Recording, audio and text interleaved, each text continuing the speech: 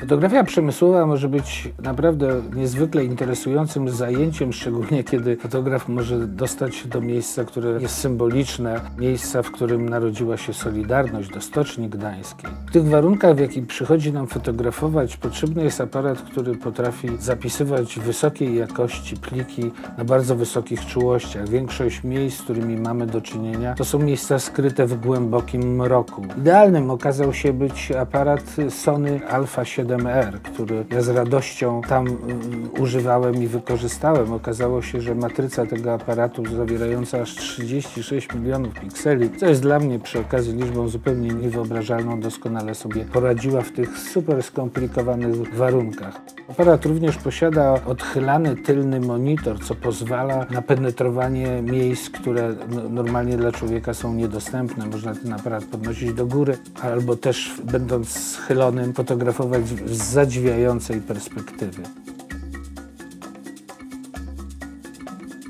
Idealny do zdjęć właśnie przemysłowych. Sony Alpha 7R.